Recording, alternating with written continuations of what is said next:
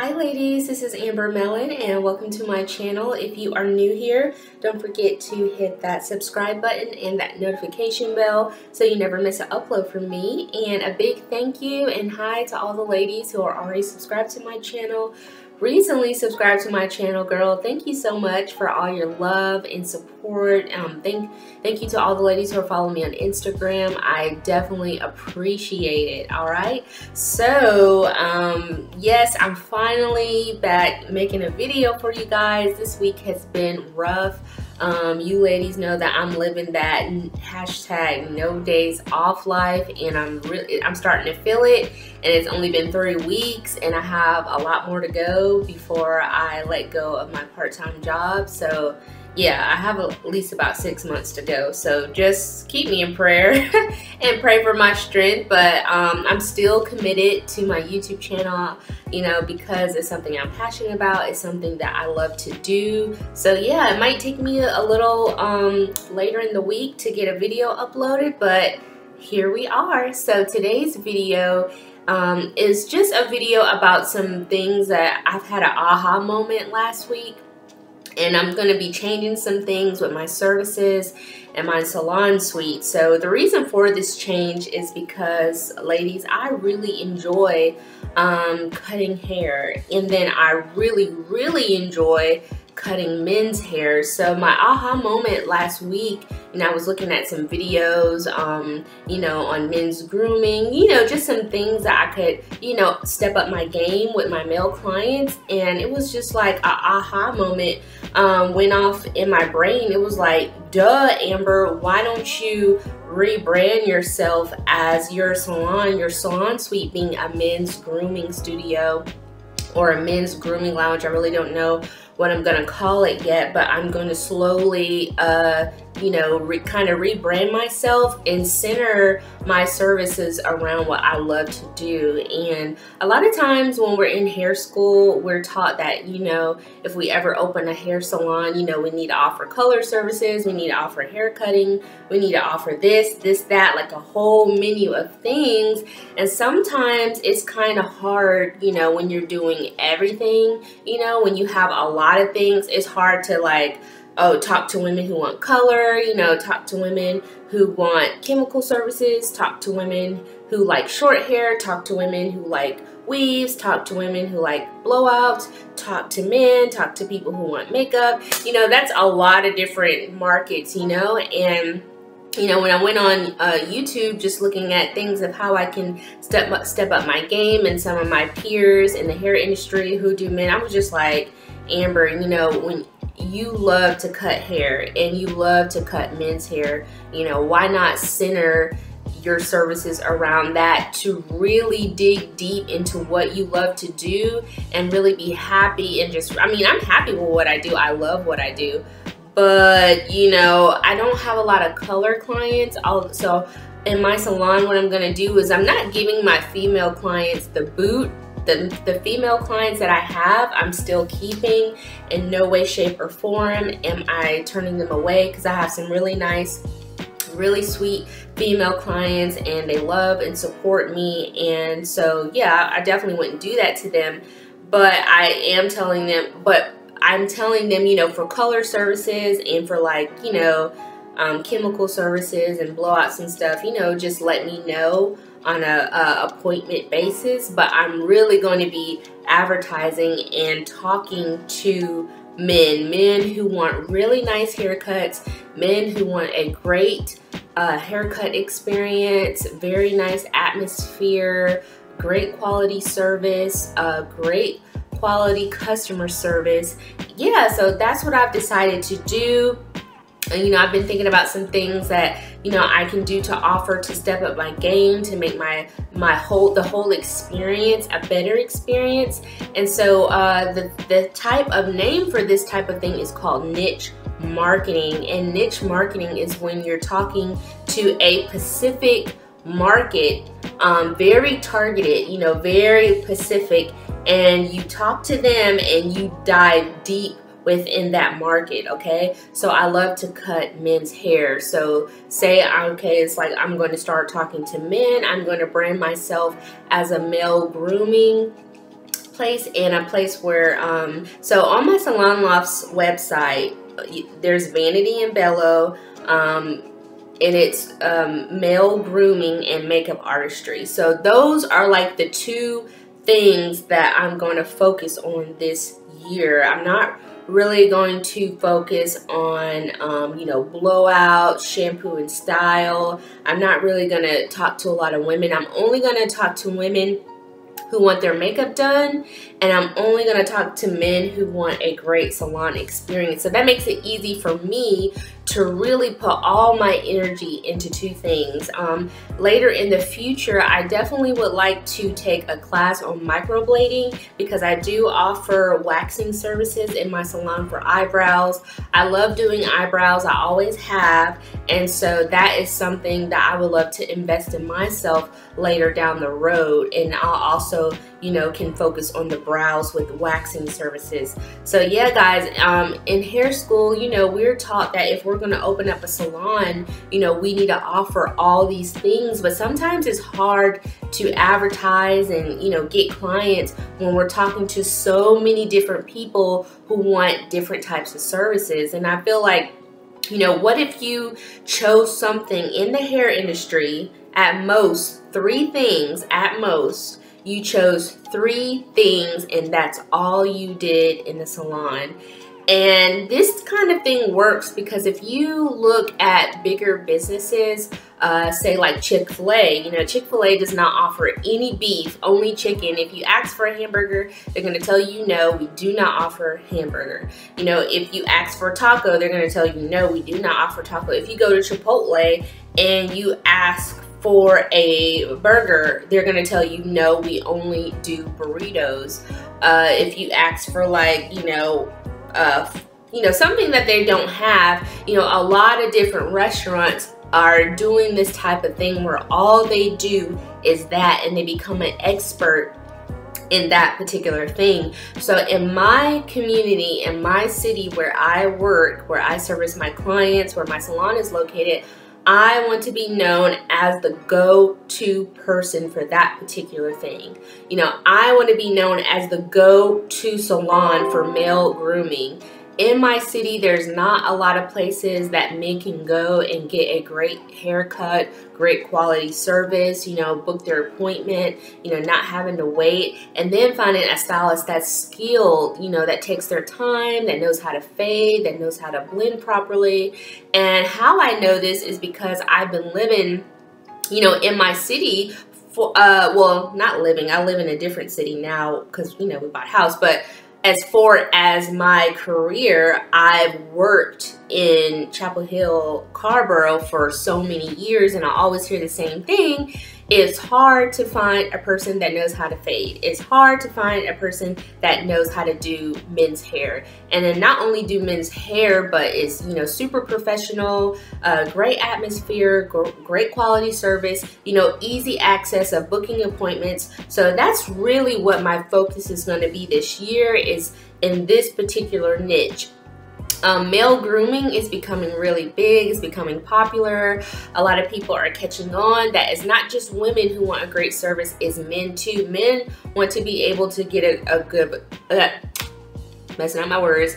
Men, there are men who care about their hair, who care about their look. You know, they're into fashion, they're into looking good. You know, they want to, you know, they want to be fashionable too. And this is the market that I'm talking to. Now, there is a market within the male market that just, you know, they're not really big, you know, if the haircut is perfect. You know, there's some men out there who are like, you know, cut it if it looks bad, you know, it'll grow back.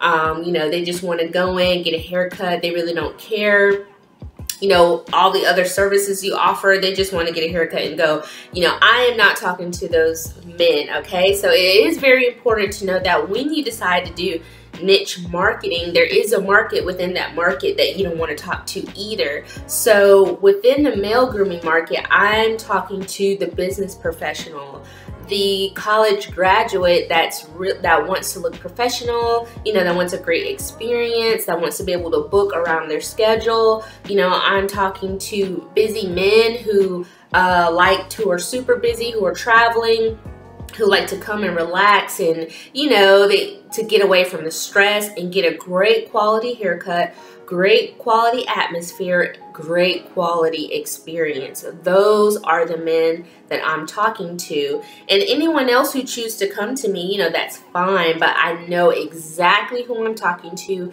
I can spend all my focus, all my effort, all my energy on that particular market. And so, um, you ladies who watch my channel, whether you uh, are in a salon suite, whatever type of business you have, whatever it is, you can do this too. Whatever it is that a service that you provide that you absolutely love to do, that it like gives you the greatest joy. Like, so when I'm cutting men's hair and I'm fading, it's so relaxing for me.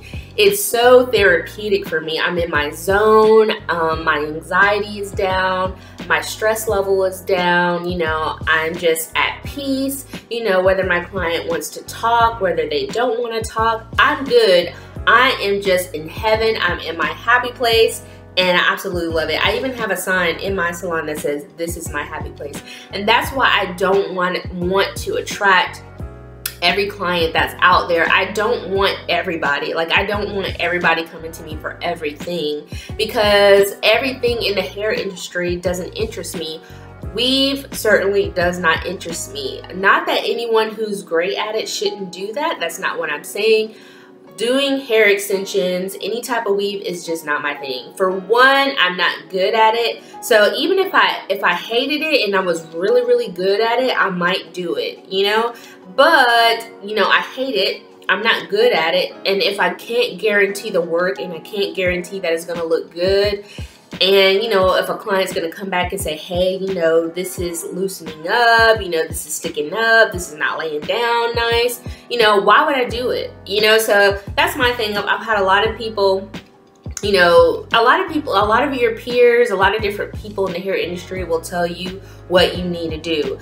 Oh, you need to do this, but only you know what within the hair industry, you know, brings you joy. Um, you know, are you a colorist? Like you do color all day long, like that's what gives you the greatest joy. Then you know, then why not become a color specialist? You know, and have different things like um you know, unicorn hair, you know, all over color, ombre, you know, you focus on a few things. Do you love to do natural hair? Do you love to do blowouts? Do you love to just only cut hair? Do you love to only do eyebrows? Do you love to only do eyelashes?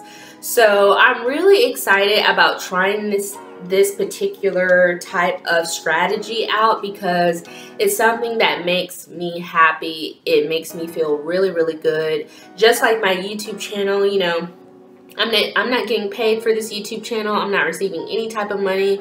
I'm doing it because I found something within my life that I'm passionate about to create a platform to talk on YouTube to help others and that's what gives me my greatest joy. And eventually the money will come and the money will just be the icing and the cherry on top of the cake okay? But you you ladies know that no one uh, gets a cake just to scrape off the frosting and eat it you know?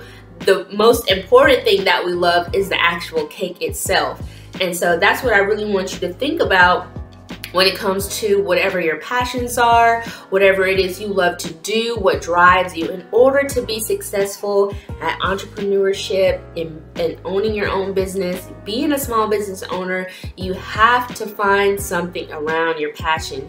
You have to find something that drives you, that gets you up in the morning without receiving a paycheck it just has to be something that's second nature to you you know and so that and that's what's going to help you to be successful because when it gets hard you're going to keep going because it's something that you love to do and you're not going to quit so uh, with, within this hair industry, if you are a hairstylist watching my channel and you're subscribed to my channel and you have a salon suite, uh, I really want you to think about this. Don't be afraid to rebrand yourself. Don't be afraid to reinvent yourself. Don't don't be afraid to change. You know what I'm saying? Because you know that's how we grow. And it was just like I don't know why I didn't think about this when I first moved in my suite because you know I've been cutting men's hair for so long. I, I've been just cutting hair in generally for a long time, men or women. But I really didn't find out that I enjoyed cutting men's hair until like, you know, two, two to three years within me, you know, uh, within this hair industry, I found out, oh, Amber, you know, you're good at this. Like, that's what you love to do. So I'm going to continue um, from now on. I'm going to go to expos. I'm going to take classes. I'm going to focus on men's grooming, you know, fading techniques, sharpening my skills, razor techniques. I'm going to offer you know, hot towel on the face, you know, massage, shoulder massages, you know, straight face shaves, facial scrub, you know, really getting a great um, product line that I love, different pomades, different shampoos for men's hair. I mean, I'm just really going to focus on this thing, you know, and I'm going to do the best at this particular thing that I can do. Another thing that I wanted to get into that still has to do with men's grooming is advertising myself you know, as a person that does the grooming for men for weddings. And um, I don't know if that's being advertised yet or if that's out there, but it's an idea that I had last year. You know, I really want to break into the wedding industry because, you know, I have the makeup, which I already said I'm going to focus on women who want makeup and men who want a great haircut. And so tapping into that bridal industry is going to put me right at where I want to be grooming men, doing makeup, and maybe a little, you know, formal updo here and there. But yeah, I think this is a great idea. I'm super excited. I can't wait to give you guys a six month update with what I'm doing. But I definitely uh, encourage you ladies. You know, I always talk about tracking. I always talk about assessing where you are, where you came from, and where you want to go. It's boring, but you know it has to be done if you can't pay anybody to do it for you. You know really look at what you love to do. You know what you're passionate about. What wakes you up in the morning? What's your happy place? What service are you providing in your salon where you're like oh i love this. This is my happy place. Whatever that is whether it's one thing whether it's two things whether it's three things i dare you to, to get rid of everything else and focus on those one to three things. I'm telling you, I think we will see much better success. I think our stress levels will be down because we, you know, we won't be trying to do everything. You know what I'm saying? Like, why would I do perms and, you know, relaxers if that's not what kind of clients I have coming in the door? You know, why would I be advertising for that? You know, why would I be buying the products for that? Out of the box. So, um, really think about if you want to try this strategy, really think about two to three, one to three things that you love to do, and think think about if you become a specialist in that, and that's all you did, and how much more happier you'll be, how much more money you'll make. Because when you start to focus on one to three things, you can really do be creative and people will flock to you and you really can charge what you're worth. And also another thing is I am going to raise my prices starting January. I'm going to talk about that. I'm going to talk about the way I'm going to, you know, let my clients know and how I'm going to go about doing it and how everything turns out. I'm just super excited for this coming year and I'm in beast mode. I'm working hard. I'm just trying to press through and really finish strong this year because I want to come back to you ladies with some great numbers and to show you that it can be done if you give it enough time, if you put your faith with your grind, it can be done. I love you ladies. I hope you have a wonderful day and I'll see you in the next video. Bye.